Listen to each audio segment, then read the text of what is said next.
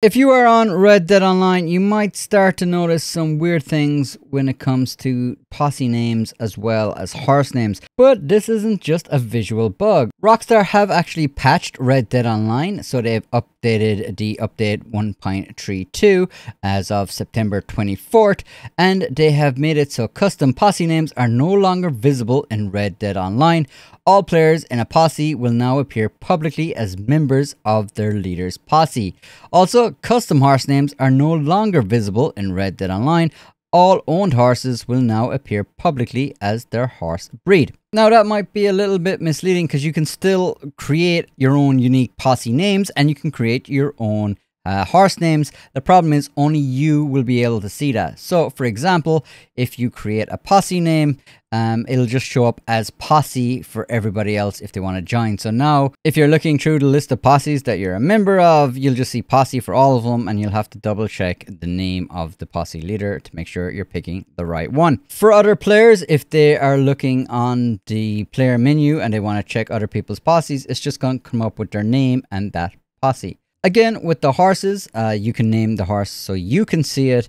But if you come across another player's horse in the game, well, it's just going to say the breed. So, for example, this horse here is my alt character and the horse is called Ginger Nuts. But if I look at the trail that it leaves, it's just going to come up Arabian. But why did they do this and why do it now? Well, TezFun 2, which is where I actually spotted that this was the change that was made, did speculate that maybe this is just Rockstar updating Red Dead Online's profanity filter to align with the community guidelines, and so custom names are disabled until then. So who knows, maybe they'll add this back so that other players can see them. That said, he did go on to say they applied similar changes for GTA Online. Custom arena vehicle names no longer appear to other players since the Chop Shop update, but they do appear to you locally. So that's exactly how they appear on Red Dead Online right now. So to be honest, this is probably a change that we're going to see stick. Honestly, I think this takes a lot of personality away from the game. I mean, I've never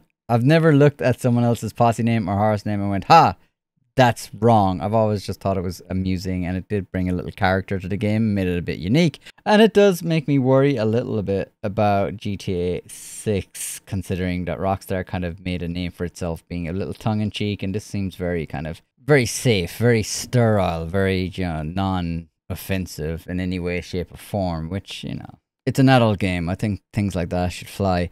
But look, uh, let me know your thoughts on this. Um, also, I'd love to hear your posse names as well as your horse names because unfortunately we won't be able to share this any other way now going forward. But yeah, please, in the comments, let me know your best posse name that either you have yourself or one that you saw out on the frontier. Really interested to get your feedback on this, people, so definitely let me know below. All right, I'll catch you in the next one.